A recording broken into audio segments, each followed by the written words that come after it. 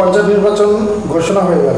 কতটা সুবিধা হলো আপনাদের? কি বলবেন? আমাদের ভালো হচ্ছে। আমরা তো ভেবেছিলাম পঞ্চায়েত নির্বাচন মনে হয় ভয় করবে না। কারণ আইবি ডিপার্টমেন্ট তো ওদেরকে নাকি জানিয়েছে যে এই সময় পঞ্চায়েত নির্বাচন করলে তৃণমূল হেরে গো হারবে। হ্যাঁ কিন্তু উপায় তো নেই, তাকে করতেই হবে। আমরা তো প্রতিনিয়ত আমরা দাবি তুলছি। প্রতিনিয়ত আমরা এই পঞ্চায়েত নির্বাচনের দাবি ঝড় তুলছি আমরা। আগামী পনেরো তারিখে আমাদের অভিযান ছিল আমাদের নির্বাচন কমিশন দপ্তর ওটা হবে। শান্তিপূর্ণভাবে নির্বাচনের দাবিতে আমাদের সেখানে দাঁড়িয়ে নিশ্চিতভাবে হবে। আমরা এই দাবিতে, আমরা কিন্তু অনড় আছি। কি আছি?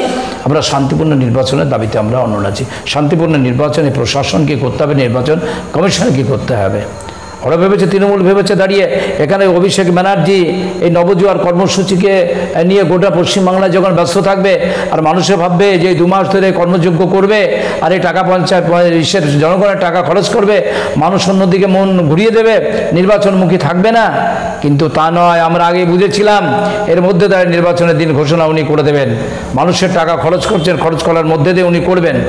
আমরা তার জন্য আমাদের যেটা হচ্ছে যে পশ্চিমবাংলার বেশিরভাগ বুথে বেশিরভাগ বুথে আমাদের প্রার্থী অলরেডি রেডি আর আমাদের এলাকায় আপনি যদি বলেন আমাদের আমার এরিয়া কমিটি এলাকায়, আমার এরিয়া একশো তেষট্টিটা বুথ, একশো চুয়াত্তরটা আমার প্রার্থী হবে, একশো চুয়াত্তরটা প্রার্থী আমার ঠিক হয়ে গেছে।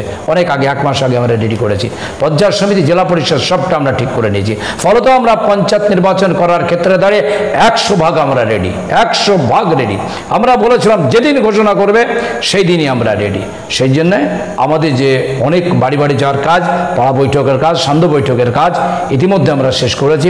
প্রার্থীদের অলরেডি ঘোরা শুরু হয়েছে গ্রামে গ্রামে, পাড়ায় পাড়ায়। সে কাজটা করছি, ফলত পঞ্চায়েত নির্বাচন আমাদের পক্ষে আমাদের নিশ্চিতভাবে আমাদের ফললাভ করব। মানুষের স্বতঃস্ফূর্ত যে সাড়া, তাদের মধ্যে যে উন্মাদনা, মানুষের এই দুর্নীতির বিরুদ্ধে যে লড়াই, মানুষের পঞ্চায়েত গড়া, যে তাদের মধ্যে যে একটা শপথ তৈরি হয়েছে এবং জেদ তৈরি হয়েছে, সেই জেদকে আমরা কুন্ডিস জানাই, আমরা অভিনন্দন, সংগ্রামী অভিনন্দন তাদেরকে জানাই, যে তারা বলছে যে এবারকার বুথ, আমাদের বুথ দু হাজার আঠারো সালের বুদ্ধ কল্লা এবারকার মানুষের পঞ্চায়েত করতে গেলে মানুষ তার ভোট, নিজের ভোট নিজে দেবে এবং গণতান্ত্রিক পদ্ধতির উপরে দাঁড়িয়ে আগামী দিনে পঞ্চায়েত নির্বাচনে বামপন্থীরা যোগযুক্ত হয়ে এবং মানুষের কাজে আবার তারা প্রতি হবে, তার জন্য মানুষ তৈরি হয়েছে। সেই জন্য এবারকার নির্বাচনে বামপন্থীরা জয়লাভ করবে। জন্য পঞ্চায়েত নির্বাচনে যতই জোয়ার করুক আর ভাটা করুক, যা করে করুক, ওই তৃণমূলকে মানুষ একেবারে ফেলে দিয়েছে আস্থা করতে ফেলে দিয়েছে। তৃণমূল দেখলে মানুষ বলছে চোট যাচ্ছে চোট যাচ্ছে। ফলত তৃণমূলের পক্ষে মানুষ কেউ যাবে না, ভোটটাও হবে না। পঞ্চায়েত নির্বাচন হয়েছে, নির্ঘোষণা হয়েছে শান্তিপূর্ণভাবে পঞ্চায়েত নির্বাচন সংগঠিত হোক, আমরা এটা চাইব প্রশাসন নির্বাচন কমিশনের কাছে। লড়াইটা হবে, লড়াইটা আমরা পঞ্চায়েতে করব, লড়াইটা আমরা গ্রামের মধ্যেই করব। আমরা লড়াইটা বুথের মধ্যেই করব এবং গণতন্ত্রের পদ্ধতিতে দাঁড়িয়ে মানুষ পশ্চিমবাংলায় বামপন্থীদের জয়ী করবে এবং জনগণের পঞ্চায়েত তৈরি করার ক্ষেত্রে দাঁড়িয়ে তারা শপথ গ্রহণ করেছেন।